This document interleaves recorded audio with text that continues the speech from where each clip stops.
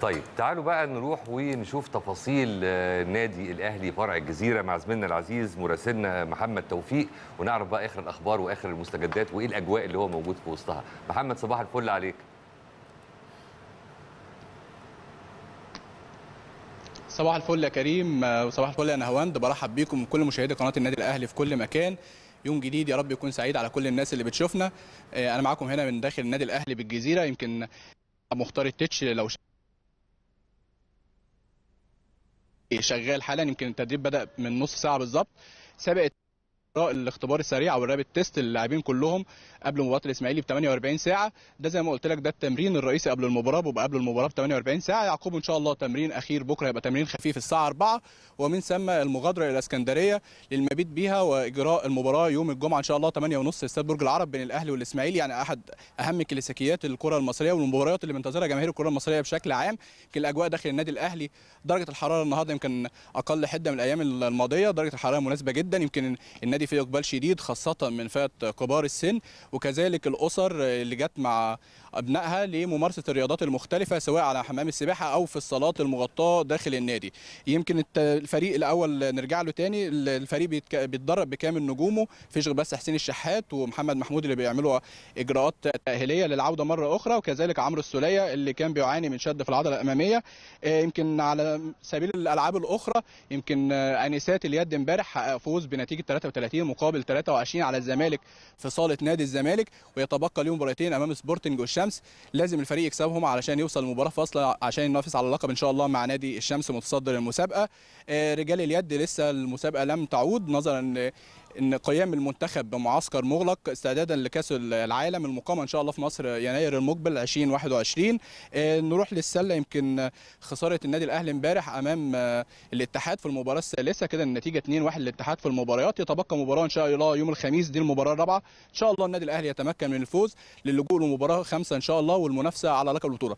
نروح للطايرة وزي ما بنقول طائره الأهلي تحلق دائما بجناحيها الأنسات والرجال. رجال الطائره في آخر مباراتهم امام القناة حقق الفوز بثلاثة أشواط نظيفة. يتبقى له إن شاء الله خطوة واحدة على إحراز اللقب المعتاد كالعادة. أمام الجيش إن شاء الله المباراة هتقام السادسة هنا في صالة النادي الأهلي بالجزيرة. إن شاء الله الفوز يكفل للنادي الأهلي الفوز بالبطولة. نظرا تفوقه على النادي الزمالك يمكن النادي الأهلي في المركز الأول ب 57 نقطة يليه الزمالك ب 53 نقطة. الفوز على الجيش كفيل بفوز الأهلي إن شاء الله بالبطولة. يتبقى ليه مباراة يوم 14 سبتمبر الجاري أمام نادي الزمالك. إن شاء الله هتبقى تحصيل حاصل ويكون النادي الأهلي بالفعل حاصل على اللقب. أنسات الطايرة كالعادة هم يعني زي ما بنقول أبطال مصر وده عادة كرة الطايرة في مصر. زي ما بنقول دايما طائرة الأهلي تحلق دائما ولا تهبط أبدا بجناحيها معاك لو في أي استفسار كريم. مش استفسار بس أنا عايز يعني أراهن على قدرتك على قراءة الوجوه شكل اللعيبة وهم داخلين النهارده في التدريب الحالة المزاجية والحالة المعنوية بعد سلسلة الانتصارات المتتالية وبعد ما هو الحقيقة يعني إلى حد كبير جدا آه، الدوري العام المصري لهذا الموسم آه، يعني محسوم للنادي الأهلي. ف reaction ات اللعيبة إيه وهم داخلين أرضية الملعب وبيحضروا التمرينات؟ يمكن من بدايه مش بس اللعيبة يمكن ريني فايلر نفسه هو داخل آه، التمرين النهارده هو داخل يعمل ال test يمكن آه، في دعابات في أريحية. يمكن فاضل 8 نقط وفاضل مباريات كتير لكن في أريحية يعني في أريحية باينة جدا على وجوه اللاعبين أو الجهاز الفني. يمكن التدريب كمان في الوقت ده من ال- الموسم التدريب ما بيبقاش بدني قوي يبقى التدريب أكثر بالكورة لأن طبعا الأحمال أنت شايف بيلعب كل ثلاث أيام ماتش فده يمكن التمرينات لازم يغلب عليها الطبع يعني زي ما بنقول الأريحية شوية من الناحية البدنية لكن التمرينات كلها بالكورة تمرينات تخصصية. النهارده زي ما قلت لك ده التمرين الأساسي لكن في تركيز تام طبعا مباراة الإسماعيلي مباراة كبيرة يعني بعيد عن إنها مباراة بثلاث نقاط وإن شاء الله تحقق يعني تقربنا ويبقى فاضل خمس نقاط على حظ البطولة.